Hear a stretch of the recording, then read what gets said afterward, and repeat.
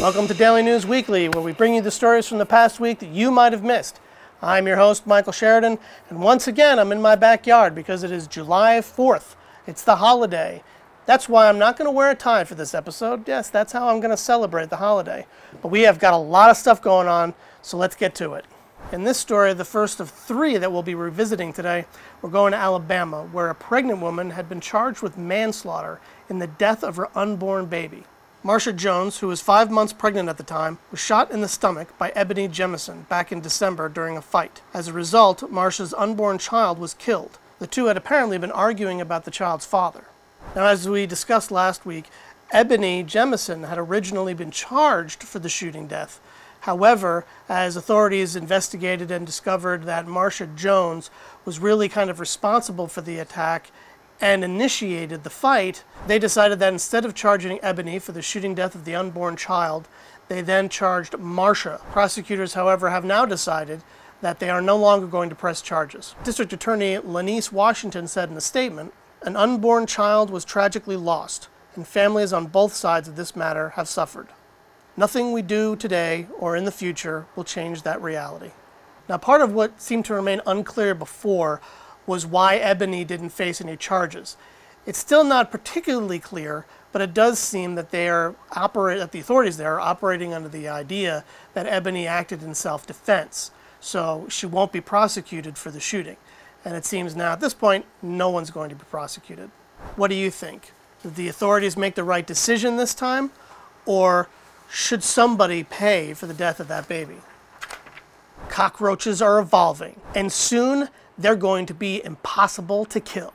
A Purdue University study found that a commonly found German species of roach is being born with an immunity to toxins which they haven't yet been in contact with. This incredibly accelerated rate of immunity means that roaches will probably be nearly impossible to kill with pesticides in the future. You know what that means? We're all just going to have to do it the old fashioned way shoes.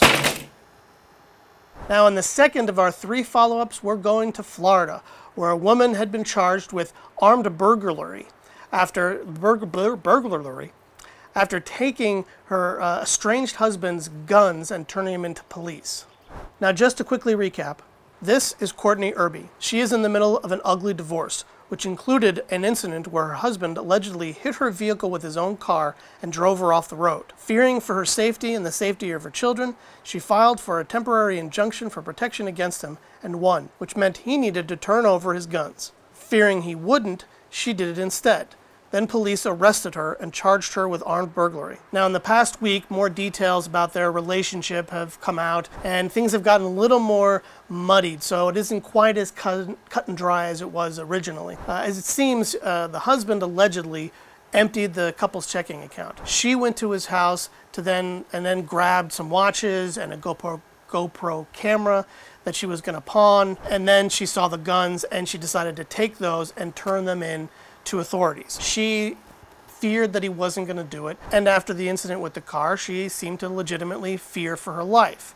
So she was afraid he wouldn't turn the guns in himself, so she did it. Now, authorities have decided to drop the felony charges. She now only faces a misdemeanor charge of trespassing.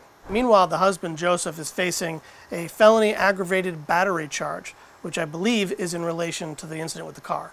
So what do you guys think? Does Courtney still deserve to face charges for taking the guns and turning them over to police? A woman in Kansas apparently wanted to eat her cake and have it too.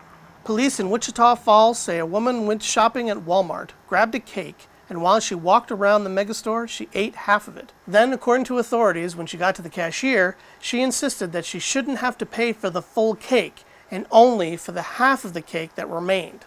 Now, apparently, Walmart didn't want to press charges against the woman. However, she has been permanently banned from that particular Walmart. And for our third updated story of this week, we're going to Boston, where the Straight Pride Parade is ready to go. Apparently, this collection of knuckleheads who call themselves Super Happy Fun America got permission to do their march in August. According to the group, the parade will start at Copley Square and end at Boston City Hall. Right wing troll Milo Yiannopoulos is uh, apparently serving as the Grand Marshal. Now, the group, which did recently get sent some uh, mysterious envelopes that actually turned out to be just full of glitter, insist they are not an anti gay movement. John Hugo, president of Super Happy Fun America, said, We're not anti gay, we're pro straight. We're a sexual orientation advocacy group, and we're a young civil rights movement. That's cute, but let's look at that. I don't recall anybody making any attempts to restrict the civil rights of straight people.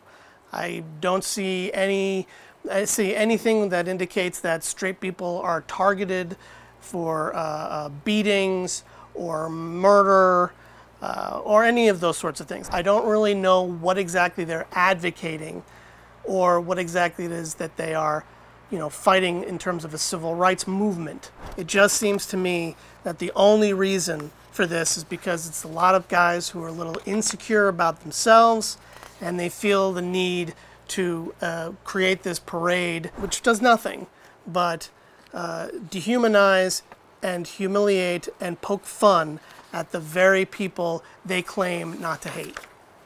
The state of Florida is going to war with iguanas. The population of the green reptiles has exploded, according to the state's Fish and Wildlife Conservation Commission, so they want residents to kill them. The FWC encourages homeowners to kill green iguanas on their own property whenever possible. Labeling these creatures as invasive, authorities also noted that people are allowed to kill green iguanas if they see them in as many as 22 different public locations. Now, before you start going crazy and thinking this is a really extreme reaction, they're not exactly that harmless.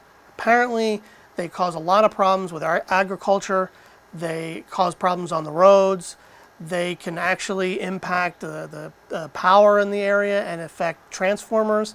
I'm not really quite sure how any of that works, but I suppose maybe they eat the wiring. Officials also say that iguanas can transmit salmonella and apparently are an FAA safety hazard.